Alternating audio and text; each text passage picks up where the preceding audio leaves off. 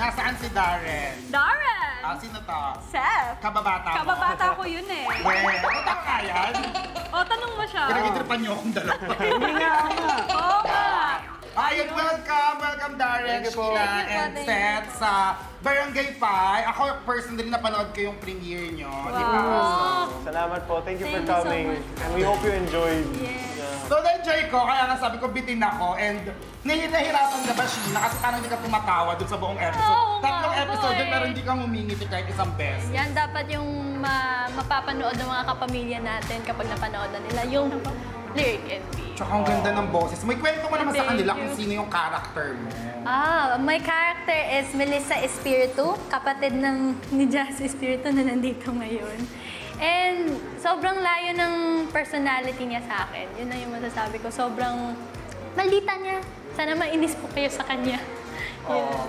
Ako na inis na ako eh. Ikaw, Abby, gusto mo tanongin si Seth kung anong character Oo, mo? kara- Hindi, tawa ka ng tawa dyan. Hindi, Seth, ano ba, ano ba, pre, ano ba character mo dun? Ah, pre, ano ako doon? Ah, hindi, ako po doon si Beat. Um, lyric and beat.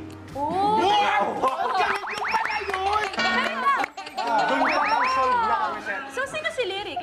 Si Andrea. Wow! Tapos ang character ko doon is mahiyain, may pagka-introvert, may talento siya sa pagkanta pero nahihiya siya. Yun. At naglalaro, ay naglalaro, nagigitara siya. Di ba?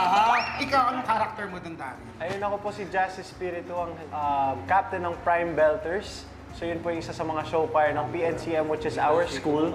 And ito nga po kapatid ko si Melissa. So dapat abangan niyo po kung paano maitatawid ni Jazz ang ah, ilang performances namin, yung pag-handle niya sa mga sitwasyon tungkol sa pamilya niya, sa career niya, and all that. So ayun po, sana abangan niyo yung mga karakter namin sa Lyric and Beat. Tsaka ang galing mo sumayaw, no? Ay, thank you po. May eksena kayo dun ni AC na sumasayaw din ako kasi pinaupo lang ako nung katabi ko eh.